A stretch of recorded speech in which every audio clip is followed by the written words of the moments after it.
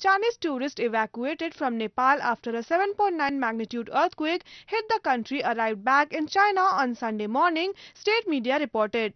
A total of 230 Chinese tourists arrived in Kunming airport in China's Yunnan province. Another group of 93 Chinese tourists arrived at an airport in China's Guangzhou. Among them were survivors of the strong quake. An injured Chinese tourist recalled what happened.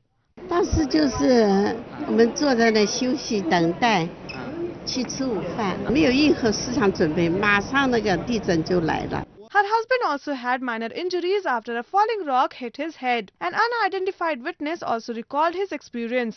人都站不住，人都站不住。就是头头发晕，然后天旋地转，然后人人跟人之间要互相搀扶，不然的话就没有办法站稳，非常非常惊险。